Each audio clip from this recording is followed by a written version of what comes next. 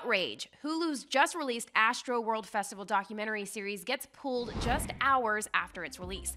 On December 1st, the streamer surprise released an ABC News special, Astroworld A Concert from Hell. The Hulu synopsis read Travis Scott's Astroworld Festival was supposed to be the concert of a lifetime, but it turned into a tragic nightmare. A minute by minute look at what happened in the crowd, the young victims who were killed, and what happens next. But the doc was quickly met with backlash from viewers who called the move insensitive. One person wrote on Twitter Hulu making a documentary about Astroworld is in poor taste all around. People are still burying their loved ones. The legal cases haven't even started. Great documentaries are done when all the facts are laid out. Not enough time has passed to fully discuss this. Another added, the Astroworld concert from Hell Doc on Hulu puts blame on concert goers not caring.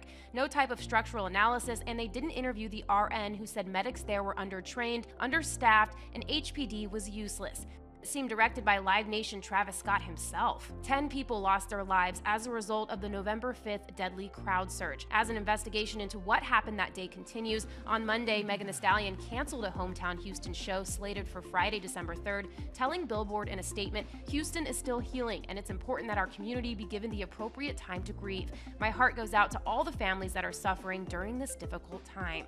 For more on this story, head to thr.com. This is the Hollywood Reporter News.